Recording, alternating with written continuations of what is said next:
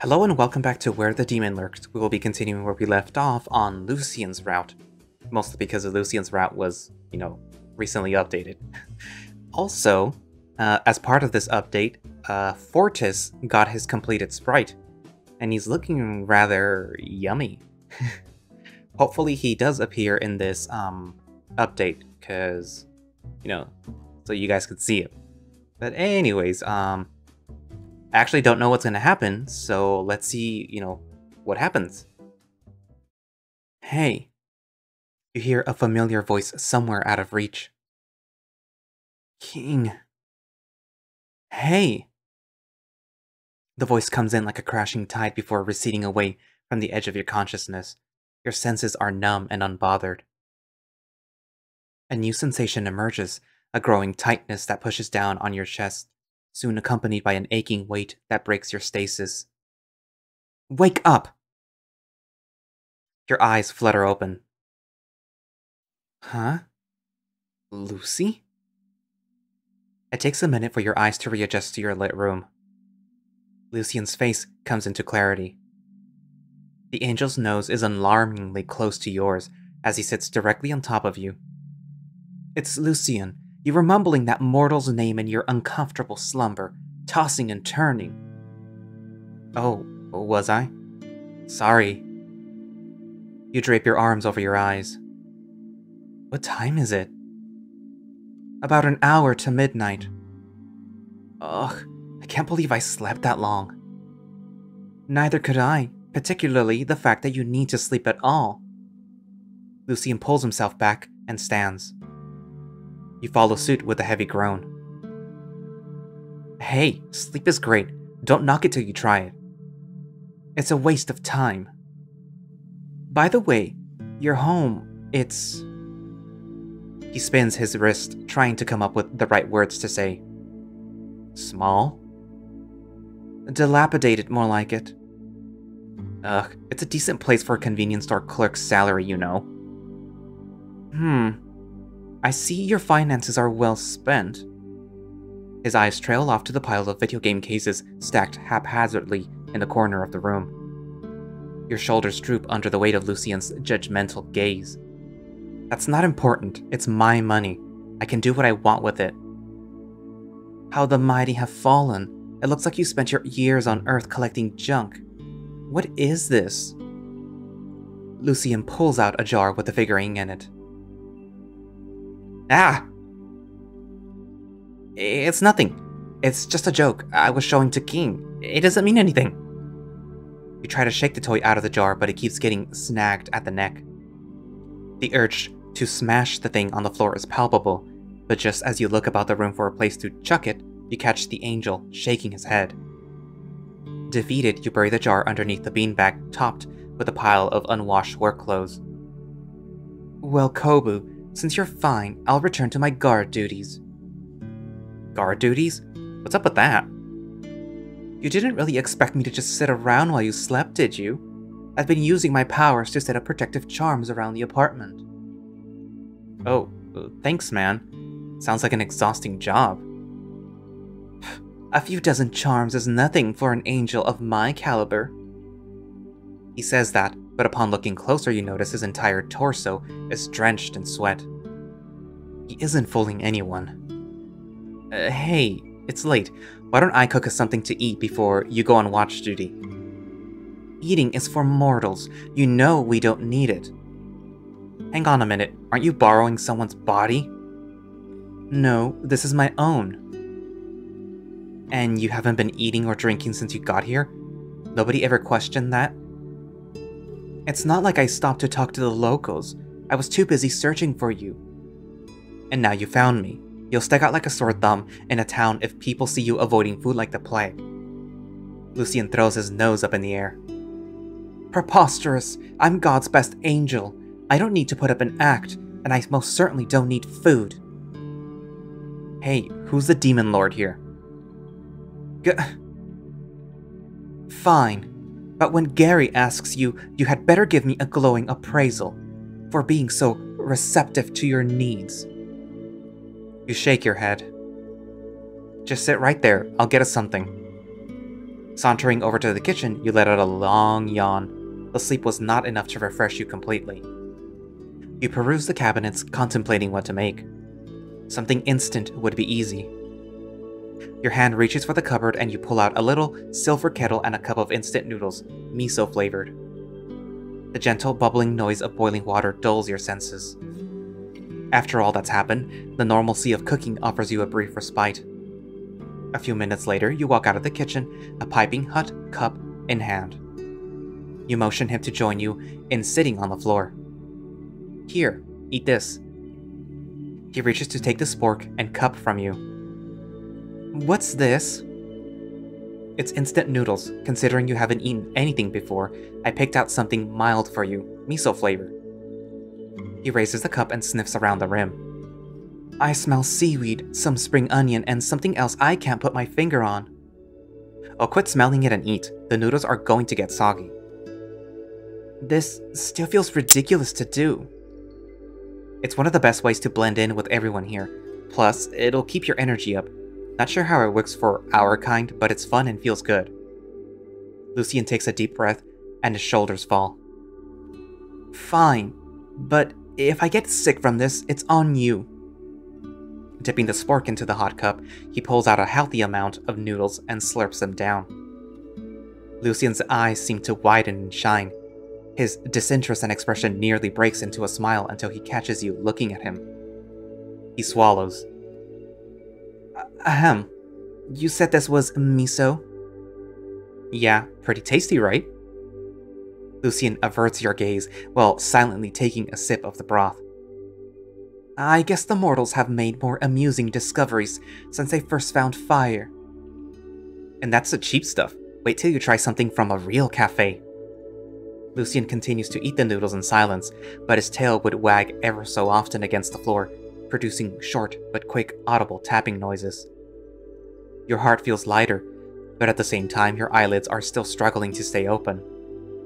Where's your food? Oh, uh, I didn't realize I ran out of cup noodles. It's okay, I'm not that hungry. A white lie. There are more in your cupboard, but you don't need Lucian to worry about your loss of appetite. He holds out his cup of noodles to you. Eat. But I made that for. You need this more than me. Eat. You said so yourself. This thing helps to keep your energy up. The angel's sudden gesture surprises you. Uh, thanks. You take the cup of noodles from him and take a bite. At first, it's a struggle to swallow the food. The mood just isn't there. But you push through. Slowly, the taste of miso fills your mouth. The warmth of the invigorating soup gives you new life as it flows down into your stomach. You continue to eat, the soft sound of Lucian's tail flapping accentuating your meal. A few minutes pass. Ah, I needed that. Alright, I'm gonna head out and keep watch. You just rest up. Come morning, I'll let you know what we need to do. Okay, thanks. I'll just lie here for a bit before going to bed again. Lucian stands up and leaves you to your thoughts. Outside, the cool night breeze blows against the angel's fur. It's almost time for the meeting. He looks around to make sure he's alone before climbing onto the handrail of the balcony. His hair and ears float ever so slightly, as though carried by an updraft. He steps forward but remains suspended in midair. A pair of white wings sprout from his back. Looking upwards, he begins his ascent at a steady pace. It's not long before the angel picks up speed and zooms upwards past the apartment roof and towards the clouds, the sound of rushing wind fills his ears. Yet before he could graze the clouds, the pull of gravity brings him back down. Wah! Lucian plummets back to Earth. Fly! Fly! Fly! Lucian concentrates all his mental faculty into reactivating his powers. Just as the apartment roof comes into view, his wings reactivate again, and he manages to halt his fall. He glides down onto the apartment tile rooftop, nearly tripping as he lands. His breathing is erratic. What what's going on with my powers? He looks at his trembling hands and clutches them tightly. The angel stands in silence for a minute before taking one long breath. This is just a little setback. He promptly tidies up his hair and straightens his shirt. Nothing I can't handle. The dog snaps his fingers and a bright yellow ring forms right above his head. Lucian drags the halo to his front. He taps the left side of the halo and it begins to ring. Okay, stay calm, sound confident, make a good impression. Just say hello with confidence. Hello, Lord Gary, I... The halo connects to the other person on the line. Go for Gary. Yes, uh, hello, hi Gary, Sir Lord, I have a report to make. Whoa, whoa, whoa, cool your jets there. Who am I talking to? Lucian's mind goes blank for a second, but he manages to recompose himself. Uh, right, sorry. It's me, Lucian. Lucian? Um, Lucian from the kitchen department? No, I'm Lucian, the angel you sent to find. The volume of Lucian's voice drops. Kobu. Oh, right. My bad, man. I've just been swamped with all these commissions to draw. Listen to this. One soul wants to experience what it's like to be a superhero that saves a city with the power of accounting. I was like, that's new, I guess. Never tried a superhero with powers in accounting before. I got it already, but the customer didn't like it. Gary laughs heartily, and the halo jiggles in tandem. The soul gave me notes to change it, but whoops, I did it all in the same layer. Joke's on me, I guess. My lord. You do great work. They should appreciate the time and energy you put into each blueprint. Thanks, Lucian. Anyway, I'm going off topic and we... Uh, what were we talking about? Right, that. Is anyone around you? No, aside from the landlord, this apartment building only has Kobu here. This area is mostly deserted. Good, you found him. How was my favorite demon? He's heavier and highly uncooperative. Gary chuckles. At least he sounds like he's eating right. What else? It's just one problem after another, my lord. There's been an attack here by agents from the underworld. A mortal was taken as hostage and Kobu wants to save him. A mortal? What do you intend to do about that? Personally, I don't think it's a big deal. We'll save the mortal when we infiltrate the underworld. We go in, get the jump on Vendrick, and take him out. So the mission goes first then? Always, my lord. Be discreet as best as you can. It's not a matter of if Vendrick will find out that we're helping Kobu, but a matter of when. And when that happens, I have to disregard any connections you have with our company. I cannot risk another war between our two sides. I understand, my lord. Anything for up above. Thank you, Lucian. So, what else can you tell me about the area you're in? It's an anomaly of a town, my lord. There are ghosts and exorcists running about. Do we have any souls with information about this place? I'd like to be prepared. Sure, let me look it up. What's the town's name? Gibbleton.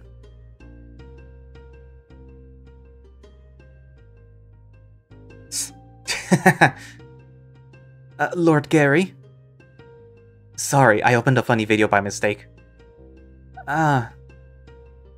Mental note to self, find out what video Gary finds funny so that I can find more for him. Interesting. It would seem that we don't have a single soul from that town. What? What does that mean? Oh, here's an interesting memo. Gibbleton is labeled as a red zone by the underworld. And a red zone is? I wish I could tell you, but my predecessor didn't write anything else other than red zone. Angels and demons advise to stay away. No souls can be collected from this area. Try asking Kobu, see what he knows about it. Right. And what about the status of finding the Underworld Gate? Good news on that part. The Halo detected the energy presence of a gate in this town, but I haven't pinpointed its specific location. A gate in a red zone area? Peculiar, don't you think? I, uh, wouldn't know. Are the two related? It's just, an underworld gate isn't something someone would build for the fun of it. Be careful. Have you noticed anything unusual happening to you? Um... Lucian shuffles his feet. He struggles to swallow as he finds the right words to say. I've maybe noticed my wings aren't working right just now. Lucian. It's fine, it's fine. You have my word, I won't fail. Lucian bites his lower lip. The brief seconds of silence from Gary's side is tantamount to awaiting the guillotine from coming down. Well, I trust you have it under control and I hope to hear good news during our next call. Lucian breathes a sigh of relief. Mm, thank you, Lord Gary. And Lucian? Yes? Good job. Lucian's eyes beam brightly. His tail wags with so much energy it could practically fly off. The call ends and the halo disappears. Yes! His heart is jumping for joy, and so is he, bouncing from left to right. The only thing that occupies Lucian's thoughts is God's compliment. Whatever is making that noise, shut up! Lucian stops his little happy ceremony and tries to recompose himself. Nearly forgot myself there. Back to my patrols. Lucian floats back down and continues his duties for the rest of the night. The next day, you awaken before your alarm rings. You sit up from the bed and begin your routine. Like clockwork, the siblings who took over your shift would be expecting you soon. After getting dressed and downing a can of coffee, you head out. Good morning, Kobu. Up early and ready to face battle? Oh, hey, morning to you too. I'm gonna go to work. Excuse me? Work at the convenience store? It's almost my shift. I switched mine with Mike and Anne yesterday. Lucian frowns. I'm going to pretend this is your attempt at a light-hearted joke. We have more serious things to attend to. Crossing your arms, you glare at Lucian, unamused. I know what we need to do, alright? But this is important too. If you want to keep using my unit as a base of operations, I need the cash to pay rent. Speaking of, you're paying half of it too. Me? Pay rent? That's what I said. I'm not letting an angel mooch off of me. You walk past Lucian. Wait! As the sun rises, the street lights flicker down. Your walk is serenaded by the rumbling cars and creaky cyclists who pass you by. You watch your feet as you walk. There's nothing you want to think about. All there is is just feet. Expectantly, Lucian is walking next to you, not even trying to hide his exasperated sighs. You know he's trying to get your attention. Dude, I don't know if sighing that much is good for you. Well, forgive me, but I can't help but be disinterested in your attempts at cosplaying a mortal. Oh, you know what cosplaying is? I've overheard what other souls have mentioned.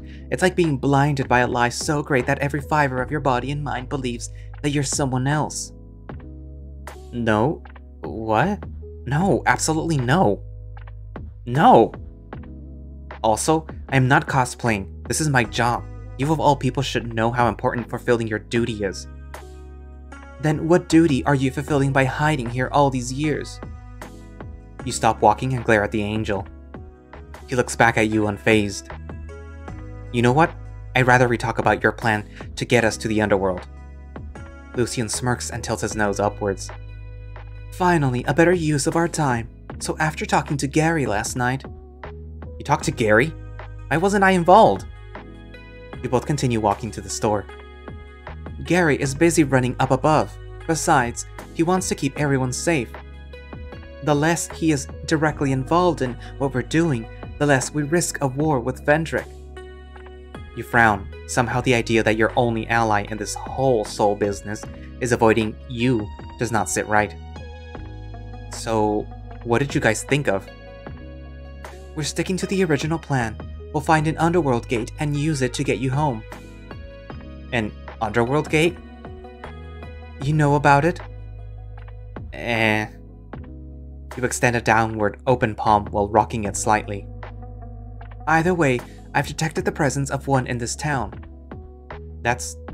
weird. Gary thought so too, but it doesn't change the fact that we need to find it, and I need your help to do that. After all, you've been around here long enough. That knowledge will finally be of some use. Huh. Well then, you'll have to wait till after my shift is over. What am I supposed to do until then? I don't know. I mean, you don't have to wait if you don't want to, just go find the gate on your own first. And risk letting you getting attacked? Not a chance. I'm staying close. Fine, then just search near the store area, and we'll continue after work.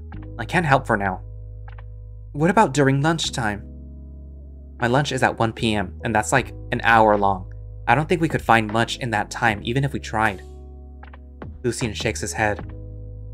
You sigh. It just seems like there's no pleasing this angel. Your mind snaps back, and you remember that you have to handle the store all on your own. You rack your brain for a solution. Uh, hang on, why not work at the store with me? That way, you and I can keep the same schedule. Plus, I get someone to share the workload with me. Lucian scoffs. Now why would I want to do that? Even if I have to find work to pay your so-called rent, there should be a better job out there for me. It's not that bad. I mean, sure, sometimes the work can be tough. Like, I remember how some customers will ask for the craziest requests, like topping their bento boxes with candy before microwaving it. There's also having to get rid of the occasional drunk that wanders into the store during the night shift. They think that they can sleep inside, and then there's the hours of heavy lifting and sorting with barely enough pay. But all that matters is that you got a friend along for the ride with you and the knowledge that you'll eat enough to survive another month. So how about I... Look, the angel is walking off in the opposite direction. I'll see you at lunch. And so your shift begins. Upon entering the store, the two siblings rush over to ask if King is okay. You recall that you made up a story that King had to leave the state due to a family emergency and that he would be uncontactable for a while. Mike and Anne are placated when you told them that King was fine and that he would be back soon. An empty promise that you hope will come true. With King's absence, the three of you decide to put up a sign looking for a new recruit to help with the work. Until then, you have to work through your shift on your own. A task made harder with the recent addition of your task as manager. The brother reassures you that King's guide will get you through it, and if there are any emergencies, he's a phone call away. He would only help with depositing the earnings of the day into the company bank account. You have no choice but to go along with the plan. Then the duo return home, leaving you in charge. You find King's guide lying on the counter. Caressing the cover, you feel the tough wrinkle of the paper King used to decorate it. You pick up the book and open the first page. There's a sticky note inside. I believe in you, King. Damn it, King. You feel tears building up, but you slap your cheeks to snap out of it. The time for crying will come later, after King is saved. Throughout the first half of the day, you busily restock the shelves and learn to take inventory of what needs to be reordered. All the while, customers come and go, forcing you to juggle between stock take and service. Running yourself ragged, even your brief moments of peace are spent reading through the manual, unable to commit much to memory before your next interruption. Customer, hello, welcome to Sun. Oh. Oh, please do go on. Don't let me stop you from doing your job. What's up, Lucian? It's lunchtime. I'm here to report my findings. Is that late already? I'm beat and hungry.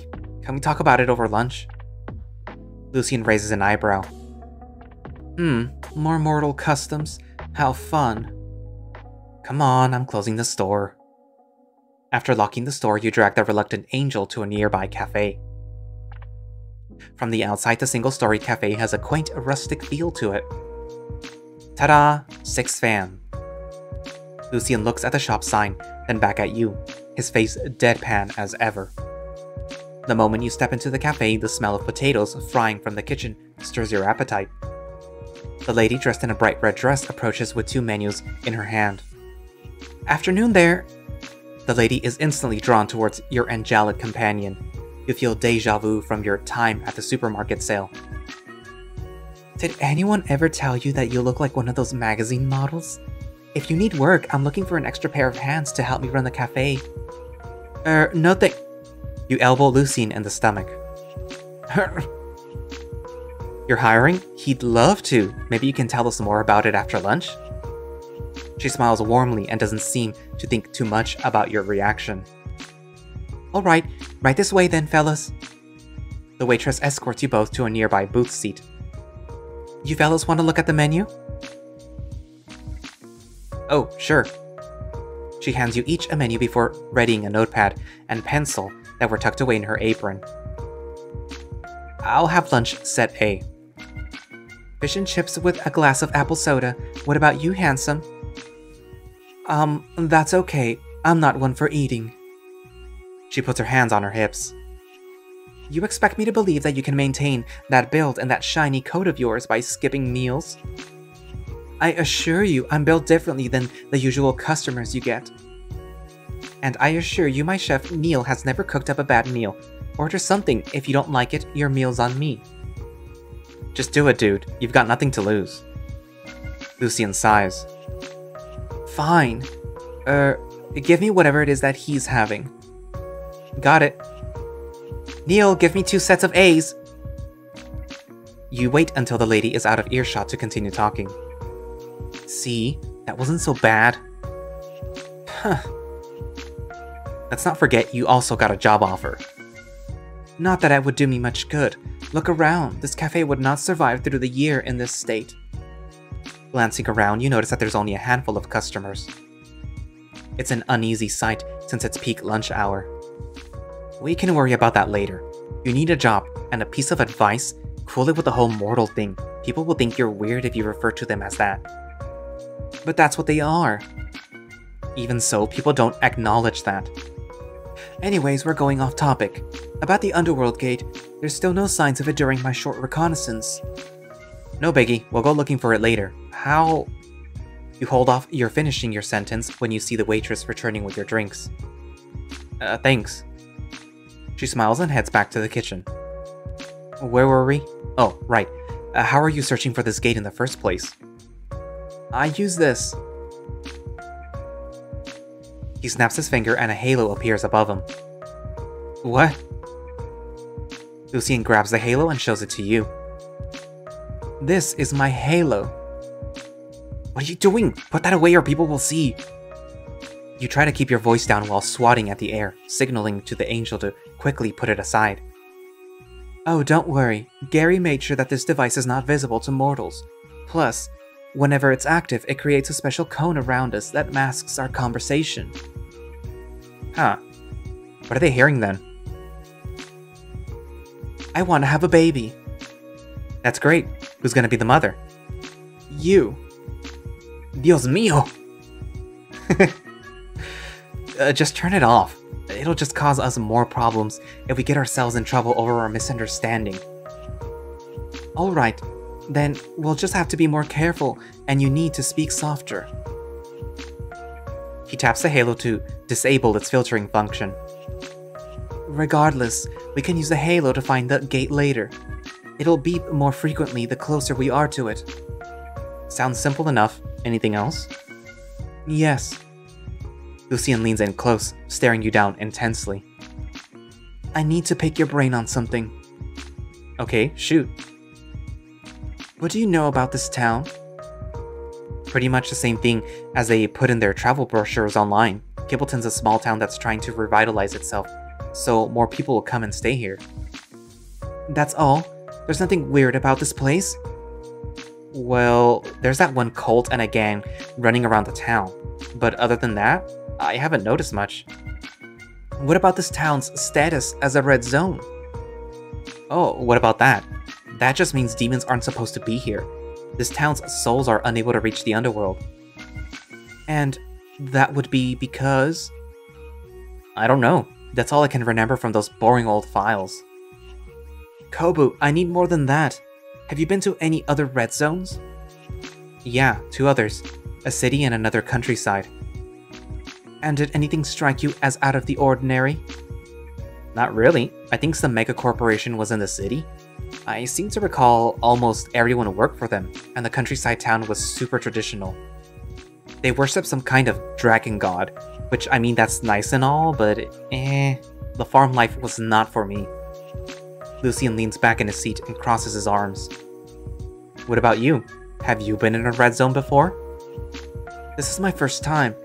I've only been on Earth for a few months. The Halo never took me to a red zone when it was pinpointing your location. Uh, alright. Then why exactly are you so worried about these red zones? It's just... I feel like my powers are diminished while I'm here. I cannot explain why. Are you joking? How are we going to defend ourselves from another freelancer attack? Don't worry about it. I can still take on any two-bit demon that comes our way. You narrow your eyes. I can do it all right. Rest assured, you have the finest angel on your side. You're not 100% confident in Lucian's words, but you keep that to yourself. Starting a quarrel over these feelings will get you nowhere. Reluctantly, you decide to worry about this when the time comes. The waitress interrupts both of you with your orders, a plate of two fish fillets coated with flour, fried to a beautiful golden brown. Accompanying the fish is a side of crispy shoestring fries on a bed of crisp green salad. The smell of food instantly eases the tension and our worries melt away. There's just something special about the food in this cafe that always makes you feel better. She also places two ramekins on the table, one for tartar sauce and the other mayonnaise. Eat up, boys! She smiles eagerly at Lucian. And if you like this, imagine getting free food every day just by being part of the team. Fascinating, but I assure you I won't be easily persuaded by some cooked fish. He cuts into the fish and takes a bite. Oh! His face contorts into a look of pure bliss, then horror when he realizes the sound he just made. That's just... He looks at you, but you're just enjoying the show. The waitress giggles. The food was hot, that's all. Sure thing, Golden Boy. If you like that, you should try it with some sauce. She points to the ramekins in front of you both. A jolly melody starts playing from her apron. Oh, one sec. She pulls out her phone and you swear her face turns pale white. Sorry, I gotta take this. The waitress rushes off to the kitchen before you have a chance to thank her. You decide not to pay her sudden disappearance any heed. Lucian takes another cut from his fillet and observes a piece of fish in front of him. He dips it into the tartar sauce and mayo before eating. This time he maintains his cool composure, yet you hear the sound of Lucian's tail thrashing against the seat. You shake your head slightly and chow down with Lucian. Come to the end of the meal, the waitress returns with the bill. So, how was it, Golden Boy? Hmm, it was... acceptable. Gah, the food was great as usual. Compliments to the chef. I'm happy to hear that. I'll pass it on to him. Now, if you work here, our chef can whip you up something tasty anytime. I promise the pay is fair too. Why are you looking for a new hire, by the way? No offense, but things look a little... Uh... Oh, I know. My little shop has been struggling against the older ones that have been here for years. So I've been thinking that my shop needs a gimmick, like feel like royalty with the handsome staff at Six Fan. Handsome staff? I thought it's just you here. Of course not. Neil's just as magnetic looking as you are. Hey Neil, get out here! A single black hand extends out from the kitchen window and waves a finger back at the waitress, telling her off. Oh, he's shy, but a nice guy. So, what do you say? Hmm, Lucian puts a finger to his chin as he thinks. He looks at you as though seeking your opinion on the matter. You give him a thumbs up. Fine. I guess it won't be too bad to work here, mainly because it saves me the time I would spend looking for some other menial job. Manners. Here's my resume. Lucian pulls out a stack of papers from his right pocket and hands it to the stunned waitress. His little magic trick nearly causes you to choke on a fry. She looks at the documents in her hands with stunned silence. What? You carry that around with you? Where I come from, a chance for a promotion can come any time. So, we've got to be ready. Oh, wow. You worked in a hotel before? That's perfect. I'll give the rest a look through, and I'll call you when it's time to start work. Just like that? No interview? Naturally, my talents are undeniable. Sure, let's go with that.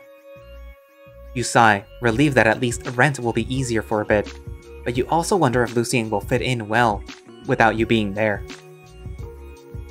Either way, as your lunchtime approaches its end, you return to the convenience store. Lucian hangs about in the back room until your shift is over. Come nightfall, the search for the gate begins again. Sitting in an elevator, King is bound and gagged from head to toe. The soreness around his butt is replaced with a dull but numbing pain from staying still. Each time the elevator changes direction, King lurches from side to side. The room itself is seemingly chasing after some far off destination. King rests his head against the cool metallic wall, too tired to continue his struggle against his bindings. His eyes rise upwards to the demon who has his back turned to him. The dark bindings along his nose start to curve further around King's face, with the tip resembling a dog's head, peeking at the corner of his eyes. Bro, he says you have a nice ass. Mmm. Fortis looks over his shoulder and flashes a smile. Thanks! Glad someone noticed the effort that went into training my glutes! The demon flexes his bubbly posterior. King shakes his head frantically. Mmm. He says to ungag him. Not a chance. I have a hard enough time figuring out what to do without you yelling in my ears.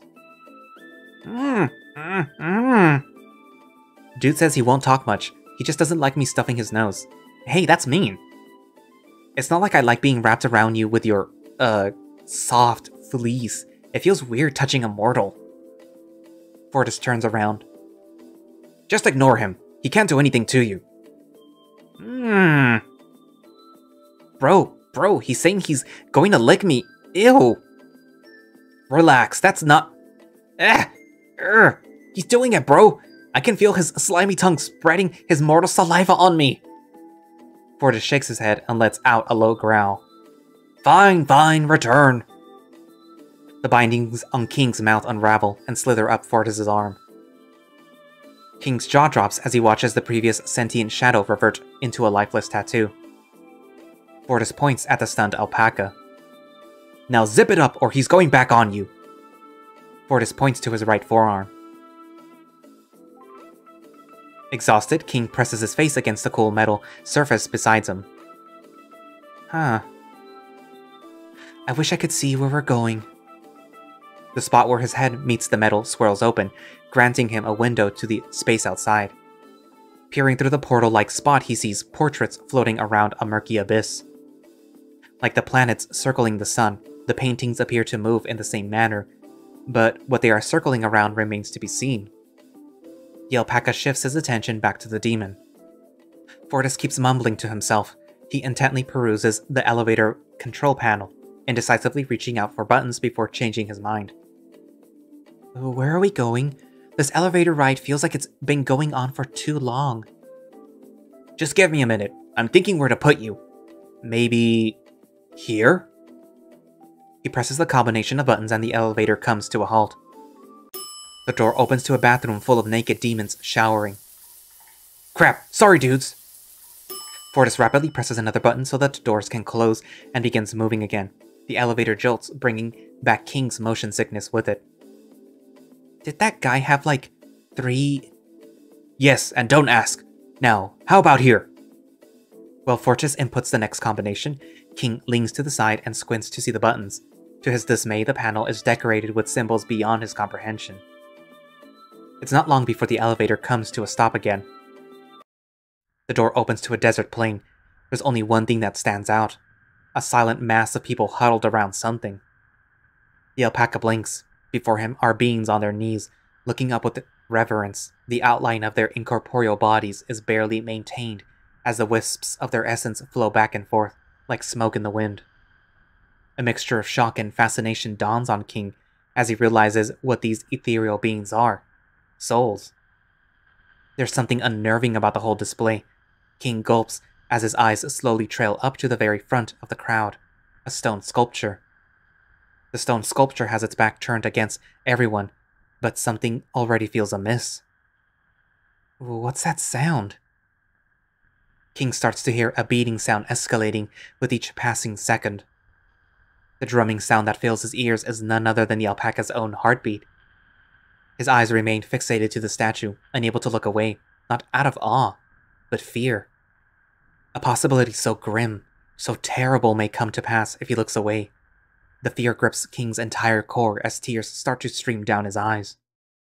The metal doors slide shut, obscuring the statue entirely. King gasps and blinks rapidly over his dry eyes. Hmm, might be a bit too intense for this pipsqueak. What room was that? It's one of the mildest physical torture chambers. I Thought it could work for you. What was that thing? I couldn't stop looking at it. Hmm, yes, that'd be the demon Akios. You don't want to find out what happens when the soul stops looking at them. What in the world made you think that that would be a safe place for me? I don't know. Akios seemed pretty popular with immortal souls. Your kind can't seem to take your eyes off of him. I don't think those souls have a choice in the matter. Fine, then I'll be using Plan B. Fortis presses another series of buttons and the elevator opens up to a plain-looking office space. Let's go. He pulls King up by his bindings and places the mortal on his shoulder. Being carried by a big strong man would be more fun if I was being held against my will. Fortis walks across the room and pulls out a pair of keys to open the pantry door. Once inside, he drops the alpaca on his butt and locks the room. Ow! If you're trying to bruise my peaches, you did a good job. Fortis extends his hands out and the bindings unravel. King gets up and scans the area. The place looks like an average-looking pantry room, down to the distinctive smell. Well, Vendrex said to stuff you in a pantry, so here you are, I'm not getting paid enough to be looking for rooms. If you need a toilet, it'll be the door next to the sink. Over there's the coffee machine.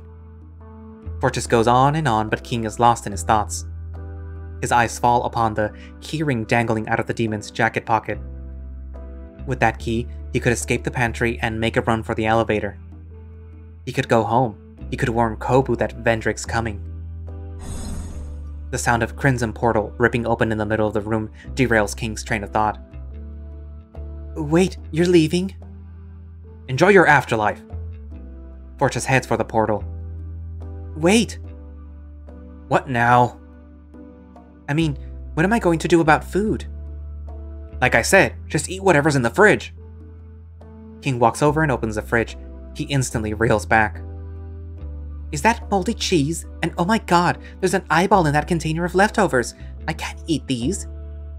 Fortis rolls his eyes. Come on, food is food. It's not like you're trying to build muscle or anything. Ping pong ping. Hello, hello. Can you guys hear me? The cat general's voice comes clear through the PA system. Amari? That sounds like the voice of the demon with all those arms. Why is he making an announcement here? Yeah, I see you guys on my monitor. Figured you'd bring him to the pantry. Really? How do you even know I'd bring him here?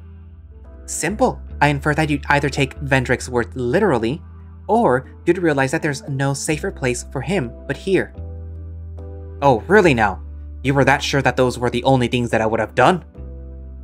There is a silence that drags on for a few seconds before Amari responds. That, and I bugged the mortal when you were walking out with him.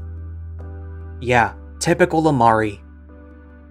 A small spider bot, no bigger than a grain of rice, leaps off King's shoulder unnoticed and crawls up the ceiling to sit on the PA speaker. It glows red. Cameras are on. Hi, mortal. Uh, hi? King waves hesitantly in the direction of the PA system. Anyways, the alpaca is right. You've got to fulfill his basic needs if we plan to send him back to Earth in one piece. Then you do it, if you're such an expert. I'm already on it. Kobu previously wanted to acquire mortal snacks without going through the hassle of traveling to the mortal plane. So he requested that I build a processor that could churn out the things that he wanted. I just need to make sure that it's working right, and check if it still has that bug whereby it explodes when coming into contact with water. Ugh. Right, and and that means I need entertainment too? You're a prisoner. What do you need entertainment for? Well... The alpaca puffs his chest and tries to look intimidating. He steps closer to the larger demon and pokes him in the chest.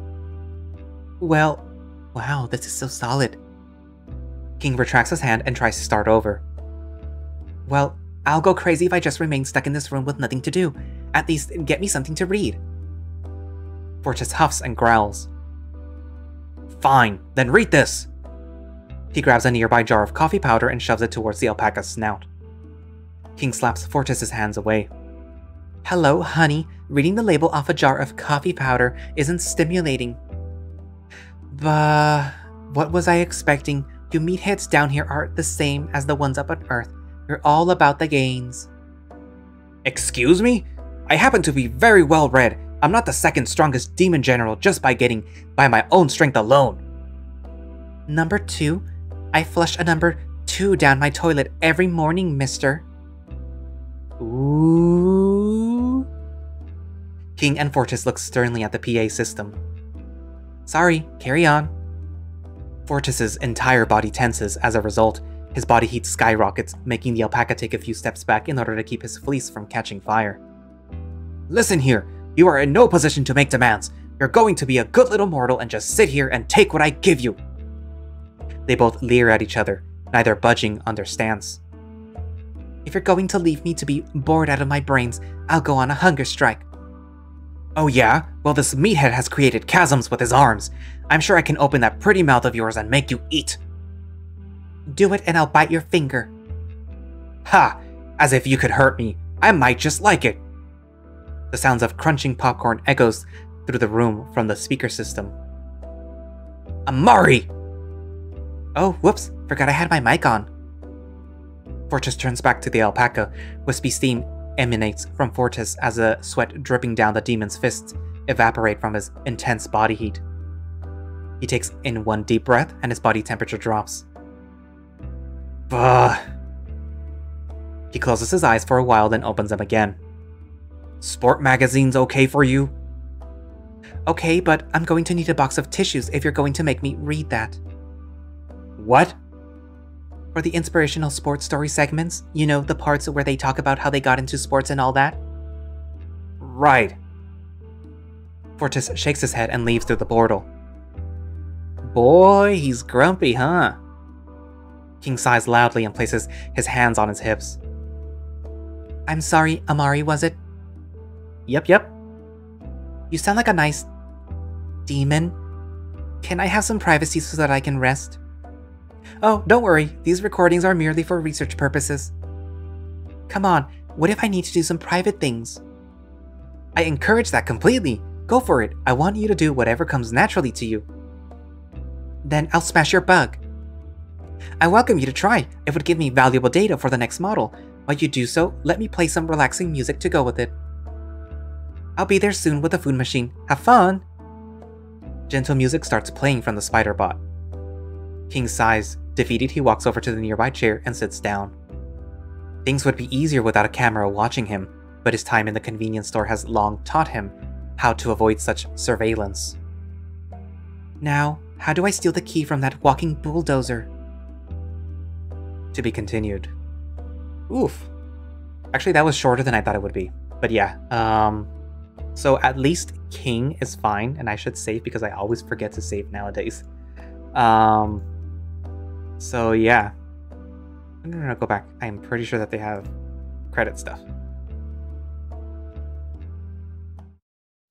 Do they? Yeah. So King is fine, thankfully, and although Fortis and his new sprite in all his glory, um, probably wants to um, throw King through a window, he at least has some restraints. um, but yeah, I'm pretty sure eventually, if he if King keeps it up, he's gonna end up getting killed by Fortis. And as well-meaning as Amari is, I'm pretty sure that the only reason that they're being so nice is because they're just using King as a like little guinea pig.